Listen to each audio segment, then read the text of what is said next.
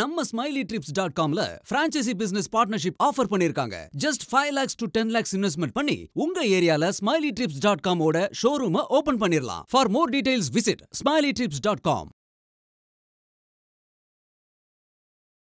மாண்புமிகு அமைச்சர். தலைவர் அவர்களே ஏற்கனவே கடந்த முறை நம்ம வந்து இதே அவையில் விவாதிக்கப்பட்டிருக்கிறது. நீதியரசர் ராஜேஸ்வரன் தலைமையில் தமிழ்நாட்டில் நடந்த முறைகேடுகள்லாம் விசாரிப்பதற்காக நீதியரசரை நியமித்தது கடந்த கால அதிமுக அரசு என்பதை நான் அவைக்கு தெரிவித்துக் கொள்ள விரும்புகிறேன். மாண்புமிகு உறுப்பினர் துரை சந்திரசேகர். மாண்புமிகு எதிர்க்கட்சி கொரோனா அவர்கள். கொரோனா மாண்பு பேரவைத் தலைவர்களே அதே போல ரெண்டாயிரத்தி ஆறுல திமுக அரசு உள்ளாட்சி தேர்தல் சென்னையில வந்து இதே போல நீதிமன்றத்துக்கு போய் ரத்து செஞ்சது. இதே போல இதெல்லாம் நடந்திருக்கு. அதே போல இல்ல ஒரு ஒரு அதே போல ஈரோடு இப்ப நடைபெற்ற தேர்தலை பத்தி பேசலாம் அது எவ்வளவு முறையா நடந்தது எல்லாமே தெரியும். இது இப்படி போயிட்டு தான் போயிட்டே தான் இருக்கும். ஈரோடுல எப்படி இப்போ எப்படி மாண்புமிகு உள்ளாட்சித்துறை அமைச்சர். இல்லை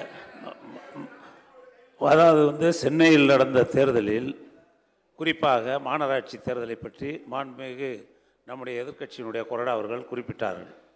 அதில் ரெண்டு விதமான தீர்ப்பு வந்துச்சு. நீங்கள் ஒன்றை புரிஞ்சுக்கரணும் ஒரு திருப் தீர்ப்பு வந்து முகாபாத்தியாய் சொன்னது தொண்ணூற்றி எட்டு மாநகராட்சி உறுப்பினர்களும் வெற்றி பெற்றது செல்லும் என்று தீர்ப்பு சொல்லியிருக்கிறார். ஒரே எல்லாம் சொல்லியிருக்காரு. நீங்கள் படித்து பாருங்கள் தீர்ப்பை நான் சொல்கிறேன் அடித்து சொல்கிறேன் ரெண்டு தீர்ப்பு.